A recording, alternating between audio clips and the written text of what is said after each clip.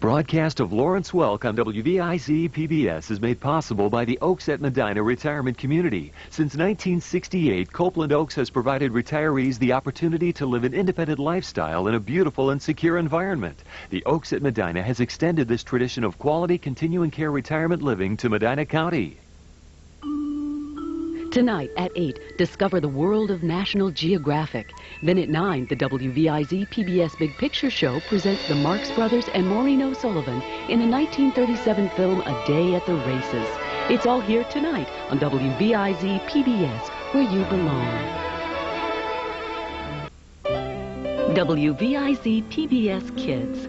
Whether it's through our programs or in the community, we bring you smiles and stories hugs, and laughter.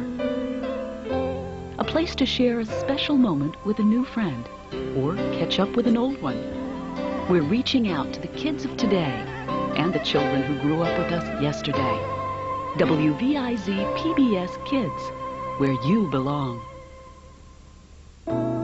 From the haunting strains of Maria to the joyous feel of America, violinist Joshua Bell's new recording of music from West Side Story will be featured on NPR's Weekend Edition Sunday tomorrow morning at 9 on 90.3 WCPN.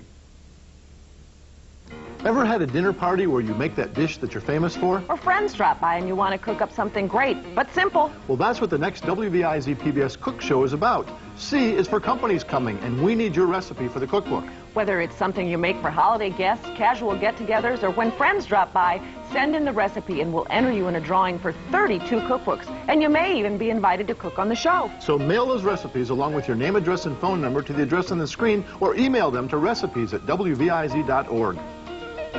Then tune in August 4th at 11 and again at 3.